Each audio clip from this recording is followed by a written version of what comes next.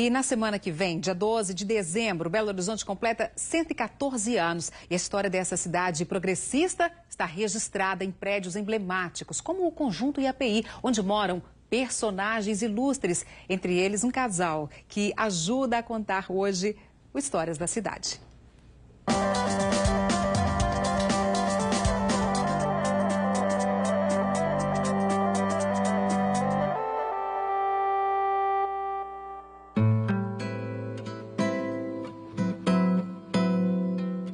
Década de 40, uma obra gigantesca e inédita para a habitação popular começava a sair do papel a pedido do prefeito da capital, Juscelino Kubitschek. A parceria era com o IAPI, Instituto de Aposentadorias e Pensões dos Industriários. São nove prédios e 928 apartamentos, mais de 5 mil moradores.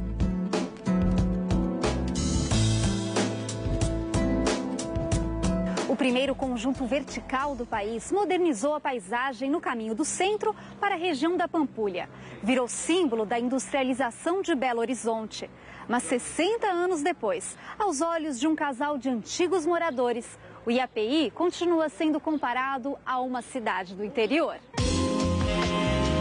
Como é que era essa área aqui quando o senhor chegou? O senhor ficou é, bem impressionado? Era, Como é que foi a sua impressão? Era dois campinhos aqui, ah. acimentados um campo grande aqui. E aqui no meio tinha tudo aquela, aqueles brinquedos.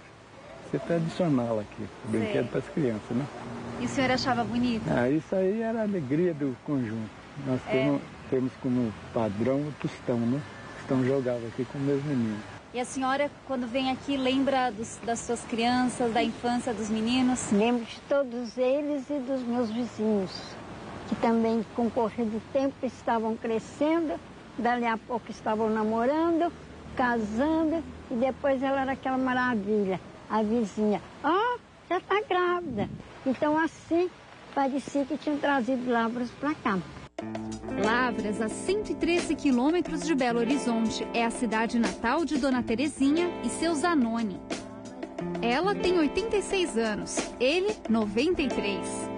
Ao se mudar para cá em 1952, o casal inaugurou um dos apartamentos do conjunto no prédio 8.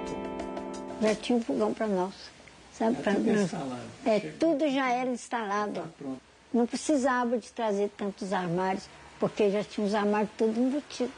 Isso para nós era uma novidade muito grande. Todo o material aqui foi de primeiríssima qualidade.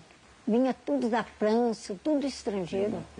Mas aqui os primeiros anos não foram tão fáceis todos nós tínhamos que ter uma opção de lata assim na cozinha, que era porque a água vinha só uma vez por semana. Então a gente tinha que guardar, sabe? É, lavar roupa e cheio de águas assim, aquela opção de lata cheia de água. Tudo isso nós passamos, a gente conseguiu passar, porque nós tínhamos o ideal de melhorar, né? A funcionária do INSS e o inspetor da empresa estatal de estradas e rodagem trabalharam juntos para criar a família. E por guardarem aqui mais alegrias do que tristezas, resolveram apostar no progresso do conjunto, comprando outros quatro apartamentos, um para cada filho.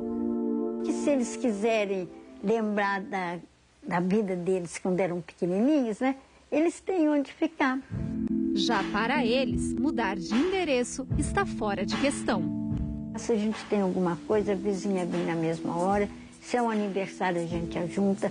Se outro precisa de uma coisa, a gente está sempre junto. Então, nós ainda conservamos com os que ficaram, com esse estilo de vida, como se a gente morasse no interior.